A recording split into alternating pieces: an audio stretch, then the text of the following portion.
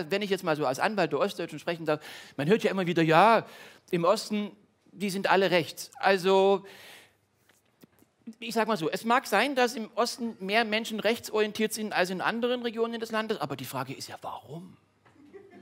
Ja? Also, why? Ja?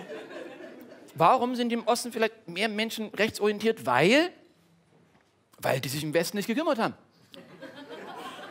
Ja, logisch, oder? Ich meine, in 30 Jahren nur einmal Begrüßungsgeld. Puh, also. Also, ich. Wie,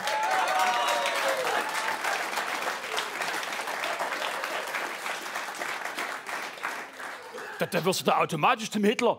Ja? So. Aber es ist natürlich wichtig dann in einer pluralistischen Gesellschaft, dass man sich dann auch ganz klar abgrenzt. Ich tue das wirklich äußerst rigide. Also zum Beispiel, wenn bei mir daheim äh, in Dresden, wenn ein Familienfest stattfindet, äh, Geburtstag oder was man so feiert, frohen Leichnam und so.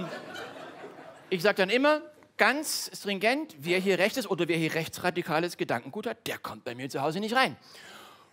Und Weihnachten war es dann so, da haben wir dann zu zweit gefeiert. Ne? Also ich und der Weihnachtsmann. ne? Ist ja bekanntlich ein Roter. Ähm, aber